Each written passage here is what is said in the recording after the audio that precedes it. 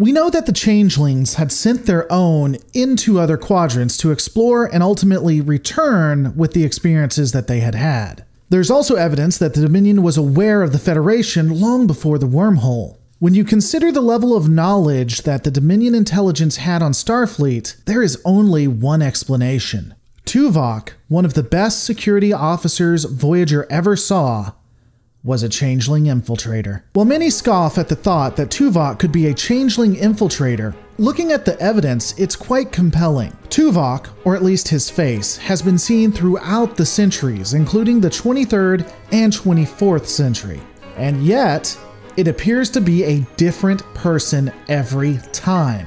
Think about it. The first time Starfleet records someone matching the description of Tuvok is during the El-Aurian crisis. The Enterprise B, on her maiden voyage, would attempt to save refugees whom were trying to go to Earth. They had been stuck in some phenomenon. During this time, a human lieutenant would attempt to transport them away, but be unable to due to temporal flux which in itself is kind of sketchy, because this lieutenant should have used Tech Tech to make it work. Kind of curious that he wasn't able to. But it would be impossible that someone matching the description of Tuvok would be on this ship. The Tuvok we know and love was on the USS Excelsior. Now, some may try to counter that, well, Tuvok just looks human here. He's actually still a Vulcan. He just transferred from the Enterprise to the Excelsior. Don't make me laugh. This doesn't make any sense, as we know Tuvok graduated in 2289 and began his first cruise on the Excelsior at that time. 2289 was the exact same year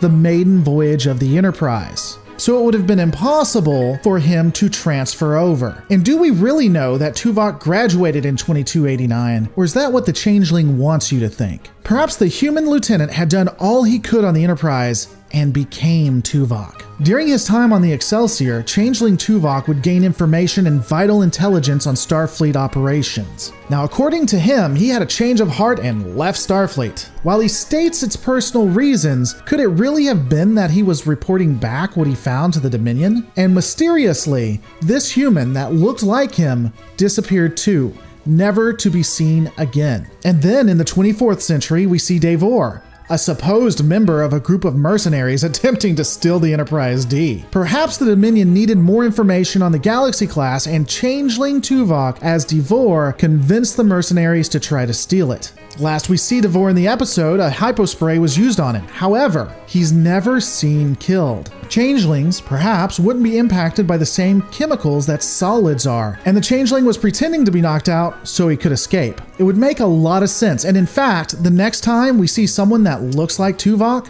would be a Klingon named T'Kar. Now, this Klingon supposedly absolutely hated the Federation and Klingon alliance, which would make sense if you're a changeling wanting to cause disruption. He captures DS9 and pretends that it's all to kidnap Dax, but during which time he would be able to download vital information and schematics on the base and send them back.